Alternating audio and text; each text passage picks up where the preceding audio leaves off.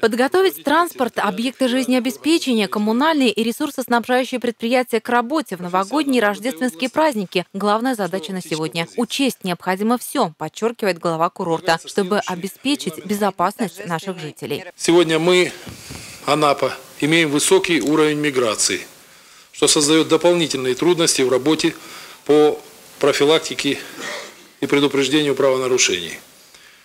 В таких условиях резко возрастает необходимость проведения активной профилактической работы, адекватной изменениям как в общей геополитической ситуации, так и в локальной обстановке на территории города-курорта. 68 праздничных мероприятий пройдет в учреждениях культуры в последнюю неделю декабря и во время новогодних каникул. И большая часть из них, конечно, детские. Сергей Сергеев акцентирует внимание начальник управления культуры Марины Мельниковой. Необходимо еще раз убедиться, что предприняты исчерпывающие меры безопасности, проверить эвакуационные выходы. На жесточайшем контроле должны быть перевозки детей. Под вашу личную ответственность, под вашу, Людмила Георгиевна, все выезды то есть взаимодействие, в том числе и с ГИБДД, проверка состояния как транспортных средств, так и персонала, который им управляет – и сопровождающих лиц и так далее, и так далее, на э, жесточайший контроль. Начальник отделения охраны общественного порядка отдела МВД России по городу Анапа Андрей Плиев доложил, на время праздников полиция переходит на усиленный режим работы.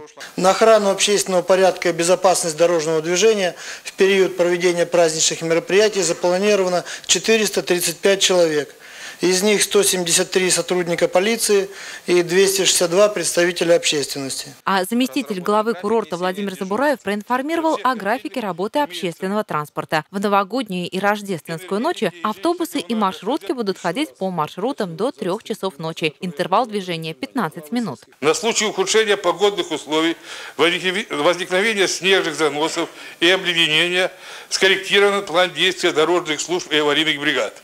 Ежедневно будут задействованы 24 единицы спецавтотранспорта, 96 дворников. Песко-соляная смесь имеется на всех предприятиях в полном объеме на весь зимний период. Тем не менее, нельзя забывать о мерах личной безопасности, быть бдительными и внимательными друг к другу и ни в коем случае не оставлять без присмотра детей и пожилых людей.